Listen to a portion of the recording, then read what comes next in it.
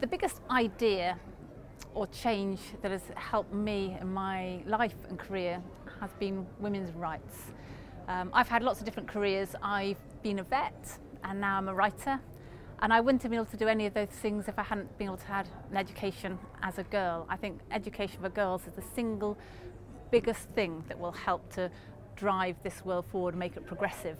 And I've been fortunate to do that because it's allowed me to become a scientist and it's allowed me to become an artist.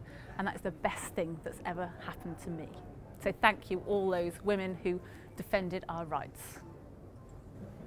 The biggest threat to the world is loss of biodiversity the loss of our wild spaces because we depend upon biodiversity for the air we breathe, for the water we drink, for the food we eat, for our mental health, for our physical health. And if we lose these wild spaces, then we lose everything, we lose our world. And so the biggest thing that we need to see in the future is to provide space for wildlife and wild space. So in cities, bringing back wild space, in farmland, bringing back wild space. And for that, we'll see a future not only for us, but for our children as well.